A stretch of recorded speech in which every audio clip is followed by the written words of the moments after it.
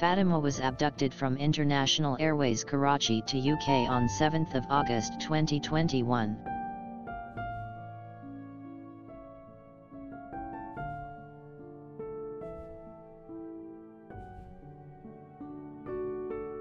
Her mother says her father and his family kidnapped their daughter against court orders and without consent. One of his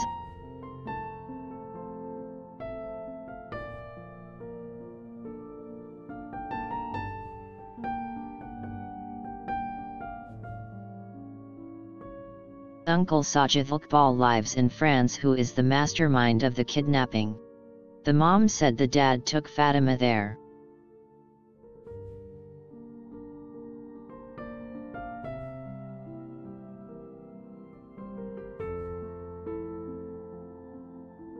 Fatima mother is a teacher at a prep school where Fatima goes to school they would go to school every day together. Her mother just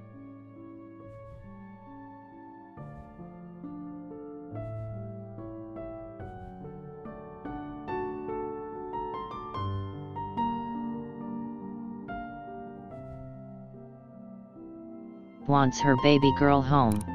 Please God bring this little girl home to her mom.